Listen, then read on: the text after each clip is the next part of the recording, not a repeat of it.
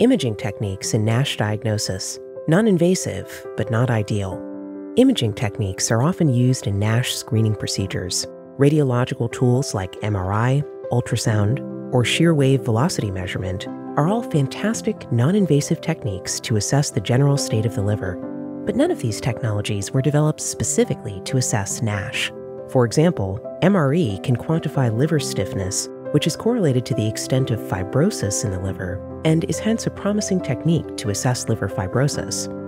However, it is not able to determine how much hepatocellular ballooning and lobular inflammation exists, which is a key hallmark of NASH. As a result, this technology is only able to provide a suspicion of NASH with or without fibrosis, still leaving the physician unsure of the exact disease state. Some radiological technologies require the purchase of specific equipment. Due to their high cost, many centers are unable to acquire enough instruments to allow for easy scheduling of these tests.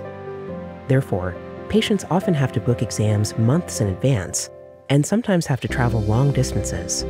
This represents a bottleneck in the patient journey. By design, these techniques were not intended to provide fine details on all aspects of NASH, Therefore, they still lack predictive value and accuracy for a complete diagnosis.